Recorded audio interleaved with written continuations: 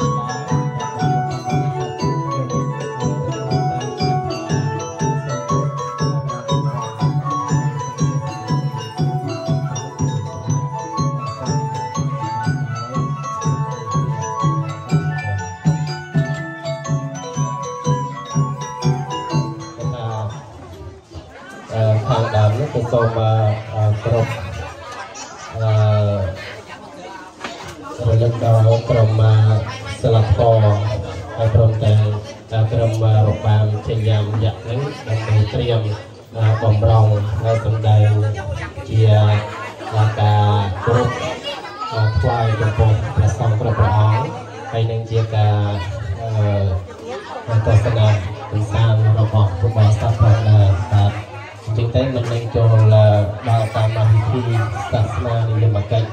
ហើយយើងខ្ញុំសូមមើលខាងរៀបចំស្លាធម៌ជាបន្តិចហ្នឹងហើយទីទីនេះកម្មការជាការទូលាយដែរអញ្ចឹងតែសូមរំលឹកដល់ក្រុមរបាំយើងហើយចេញនេះគេថាសូមមើលខាងខាងផងក្រៃមួយមានកម្លេងនេះត្រូវដល់កម្លេងនេះចេញបាទ ហើយខាងលើអង្គនេះក៏ប្រតិបត្តិបានព្យាយាមជាដើមនឹងគឺថាសូមក្រុមជ័យជ័យសម្ដែងតាមការសំគួរ